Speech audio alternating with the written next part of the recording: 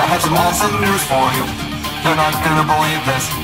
We found one.